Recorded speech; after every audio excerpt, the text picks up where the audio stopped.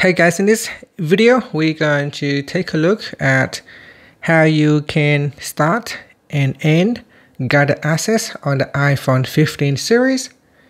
First, let's go back to the home screen by swiping up at the bottom of the screen. Then on the home screen, tap on settings. Now in the settings page, scroll down and then tap on accessibility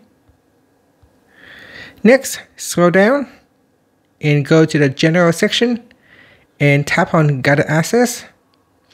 In here first, make sure you tap on the toggle button to turn on guided access.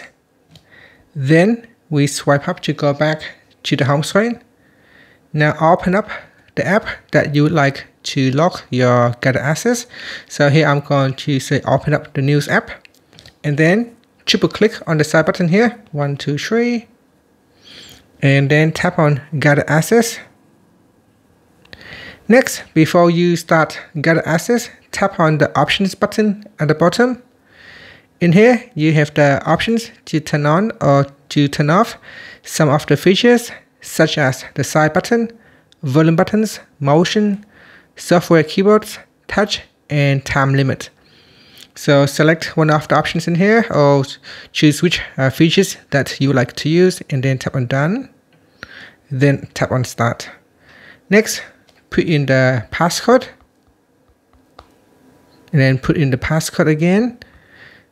And this will set the passcode for guided access so that when you end guided, uh, guided access, you can uh, uh, put in the passcode to end the session.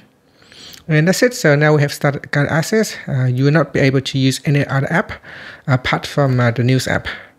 And to again uh, to end guided access, you can triple click on the side button here. One, two, three, and then tap on guided access.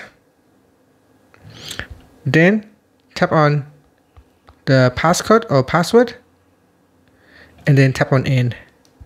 And that's it. Finally, you can swipe up to go back to the home screen. Thank you for watching this video. Please like and subscribe to my channel for more videos.